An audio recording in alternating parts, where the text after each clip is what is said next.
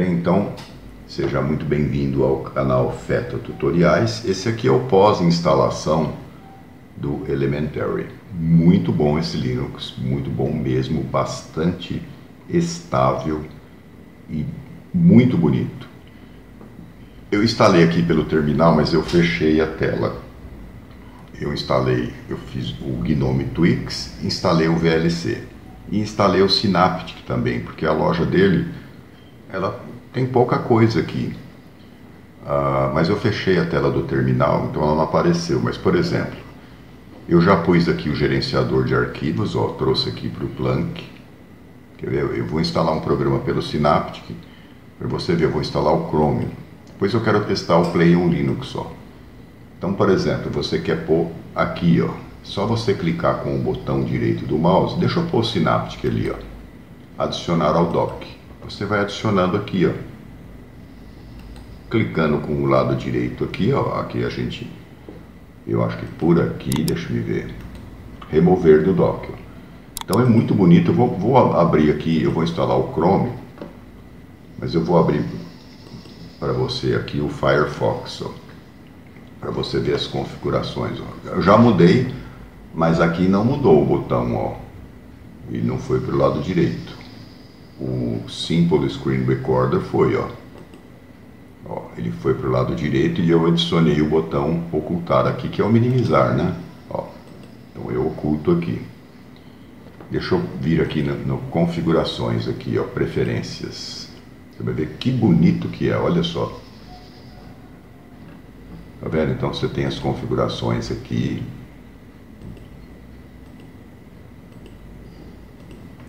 Aqui, ó, ele continua do lado esquerdo, tá? O Twix, que é essa ferramenta aqui, tá aqui, ó, ele veio parar aqui como ajustes, deixa eu ver se é o ajustes. Ajustes, ó, tá aqui embaixo, ó. Esse é o Twix, ó. É que eu já conheço a ferramenta, né? Eu instalei pelo terminal aqui, ó, aparência, barra de títulos, ó eu coloquei o botão do lado direito, se bem que ele aqui ele não mudou. Esquerda, direita, não sei se precisa reiniciar, ó, eu pus o botão minimizar. Aqui você faz algumas configurações nele. Então eu vou instalar um programa aqui para você ver, ó, esse programa é excelente, ó. Vamos procurar aqui o Chrome. Tem o Chromium e o Chrome, né? Vamos ver se tem o Chrome. Tá todo em português, ó.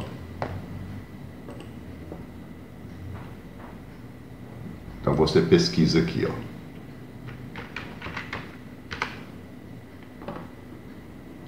Deixa eu pôr assim, ver se tem o Chrome e o Chromium. Ah, eu tenho que pôr o botão maximizar aqui. Ah, ele, ah, ele, ele ficou do lado de cá, ó. Olha que coisa aqui. Chroma, Chromium. Chrome, Chrome não tem, dá para você instalar, porque tudo que você instala no Ubuntu você instala nele. Então eu vou instalar o Chrome e o browser. Ó. A diferença do 10N é de localização. Eu vou instalar aqui, ó, vou instalar o comum aqui. Ó. Você seleciona, ó, marcar para instalação. Ah, ele vai instalar pelo Snapit. Marcar e aplicar. Ó. Por que ele não Colocou. Deixa eu pôr o outro aqui, vamos ver.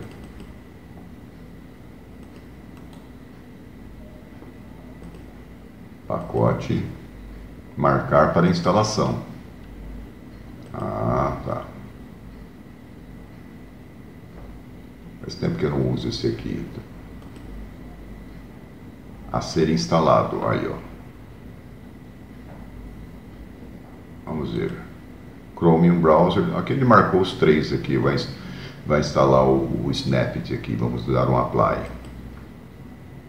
Ah, então ele está baixando e fazendo a instalação. Essa loja aqui, você pesquisa, tudo que você quer instalar, você pesquisa por aqui. Ó. Enquanto isso, deixa eu vir aqui que eu já vou fazer um teste aqui, ó. vou abrir aqui os arquivos, eu quero ver se ele funciona o AP Image. Aqui eu tenho aqui no Western Digital, no DVD 8, programas para Linux. O API Made, Vou abrir o shortcut aqui. Aí você clica, olha que bonito o menu dele. Ó. Você clica aqui com o botão direito, permissões. Ó. Aqui não está escrito aqui se pode executar como um arquivo. Deixa eu ver aqui, elementary, geral. Deixa eu ver se ele abre, né? Executar. Espera aí, porque parou aqui? Ah, está instalando o Chrome o Snap aqui, por isso que ele parou. Mas deve executar o... Ele deve executar também o API Image. Depois eu vou procurar aqui o Play on Linux. Se não instalo o Play on Linux pelo pelo terminal ou .dev, dá para baixar lá do site. Quero ver se funcionam os meus programas aqui nesse Linux. Esse Linux é muito bonito. É muito bonito mesmo. Bom, eu corto um pedaço do vídeo, né? Porque está instalando bastante coisa aqui. Ah, ele abriu o shortcut, ó. Aqui, ó. Ele abriu, então ele funciona aplicativos e Major, tá vendo? Esse aqui é um editor de vídeos, no canal tem até um vídeo dele para você editar vídeos, ó. Então ele funciona. E aqui está o menu, ó. Aqui o maximizar está do lado de cá, ó. ó. maximizar e ajustar. E aqui o diminuir. E aqui o fechar. Ele tem algumas coisas que é, tá demorando um pouco. Eu corto um pedaço de vídeo até ele instalar o Chrome. Eu estou mais acostumado com o Chrome, né? E vou instalar o Play on Linux, que é o que me interessa. Saber se vai funcionar aqui. Eu estou procurando uma distro baseada no Ubuntu 20 que funcione os meus programas de Windows que eu preciso ainda. Sim ele terminar, eu vou, eu vou dar uma pausa no vídeo, depois a gente continue.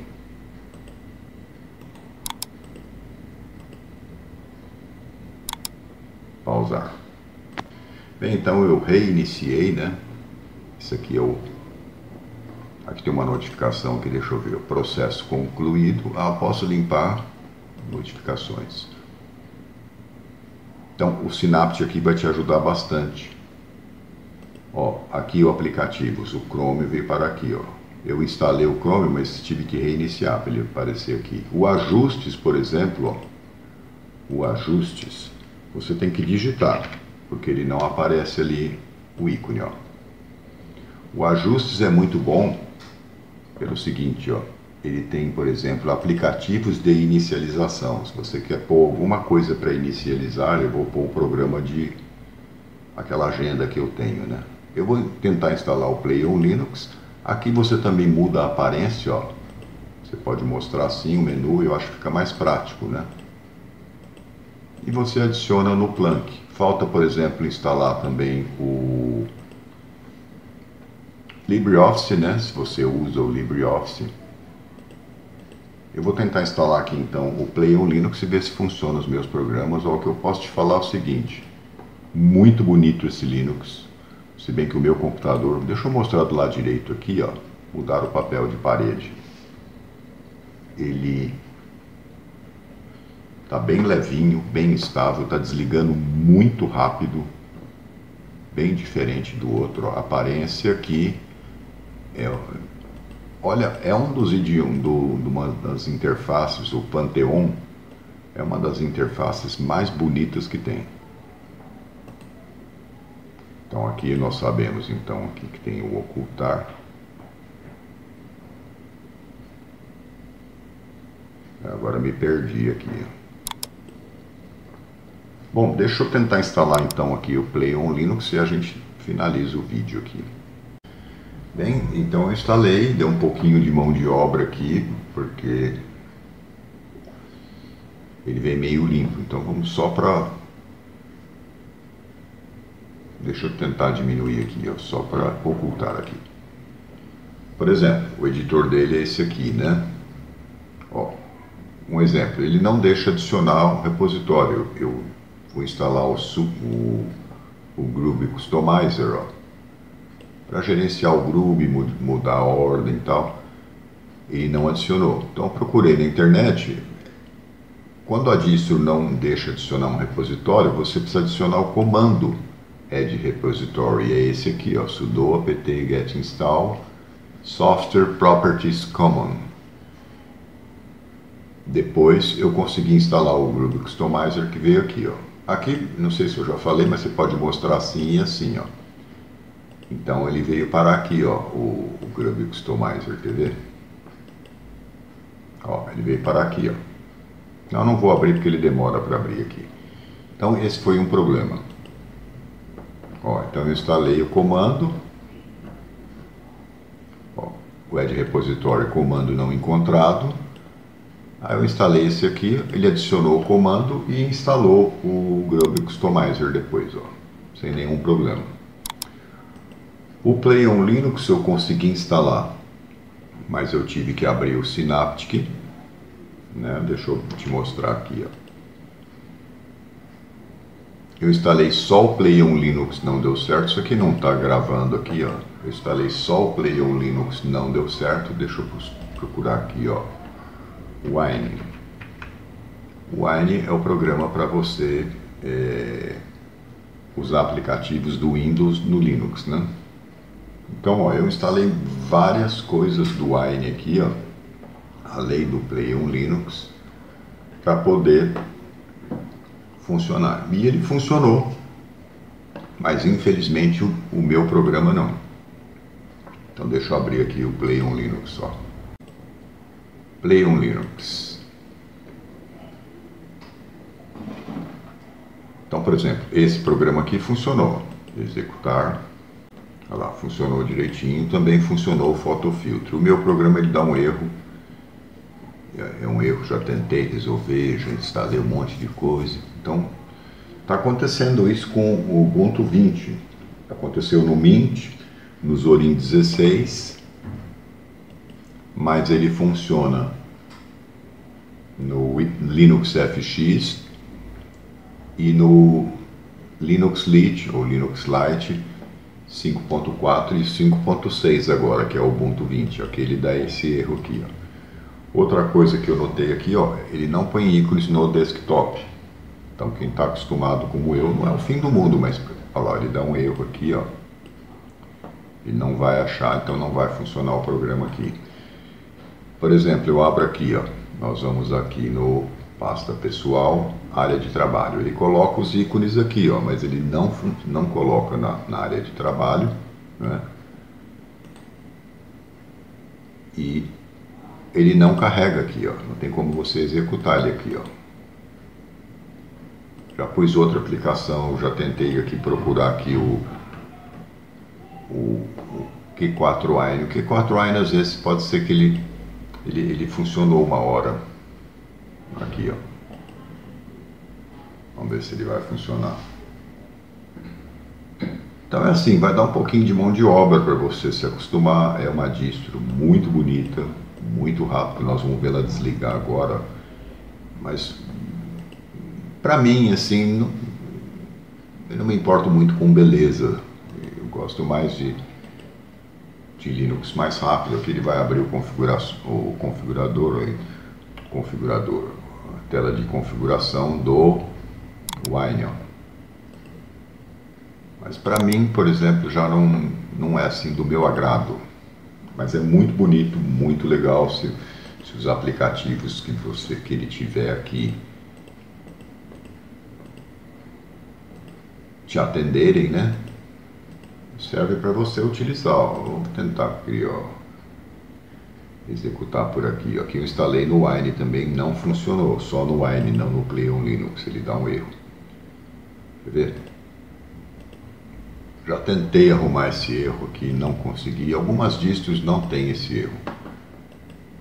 Mas olha, muito bonito, muito legal. Nós vamos ver ele desligar agora, você vai ver a rapidez. Ele está desligando muito mais rápido do que a outra versão anterior, né? A outra versão anterior. Vamos fazer o logoff dele, ó. Por aqui, desligar.